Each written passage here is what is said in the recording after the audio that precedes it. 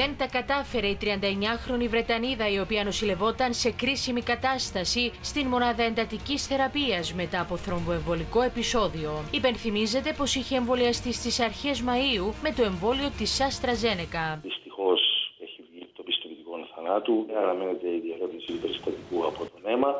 Έχει σταλεί κυτρινικά στα κοντά του. Τα ιατρικά δεδομένα τόσο για αυτό το περιστατικό όσο και για 40χρονη γυναίκα η οποία νοσηλεύεται στο Γενικό Νοσοκομείο Λευκοσίας με θρομβοεμβολικό επεισόδιο έχουν σταλεί στον Ευρωπαϊκό Οργανισμό Φαρμάκων ώστε να διερευνηθεί κατά πόσον σχετίζονται με τον εμβολιασμό τους. Οι συγκεκριμένες περιπτώσεις είναι δύο από τις πέντε που έχουν καταγραφεί στην Κύπρο από την έναρξη του εμβολιαστικού πλάνου.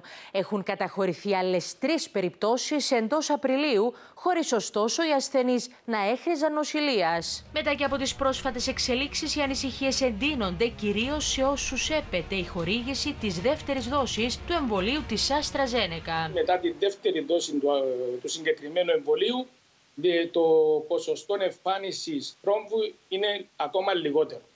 Άρα αυτό σε ένα επίπεδο κάθε ησυχάζει. Το πρόβλημα χωρίς τον εμβολιασμό είναι απείρως μεγαλύτερο με τα προβλήματα που παρουσιάζονται με τον εμβολιασμό. Παράλληλα, πληθαίνουν οι φωνές που θεωρούν πως το Υπουργείο Υγείας θα πρέπει να αναλάβει πρωτοβουλία και να θέσει περιορισμούς για το εμβόλιο της Αστραζένεκα βασιζόμενο στα δεδομένα της Κύπρου. Κάτι που εφάρμοσαν εξάλλου και άλλες χώρες και κυρίως το Ηνωμένο Βασίλειο, το οποίο δεν χορηγεί το συγκεκριμένο εμβόλιο στους κάτω των 40 ετών. Θα έλεγα ότι οι Βρετανοί δεν παίρνουν αποφάσεις ελαφρά την καρδία. Σημαίνει ότι έχουν απτά δεδομένα πάνω στα οποία να βασίσουν αυτή την απόφαση και νομίζω ότι θα είναι φρόνιμο και εμείς να τα λάβουμε αυτά πολύ σοβαρά υπόψη. Πρέπει να έχει τις κατευθυντήριες οδηγίες ε, της ΕΜΑ αλλά πρέπει να αναλάβει μόνη της ε, την, την κατάσταση στα χέρια της, να πάρει την κατάσταση στα χέρια της. Μια χώρα αναλαμβάνει και λέει κάτω των 30, κάτω των 40, κάτω των 50.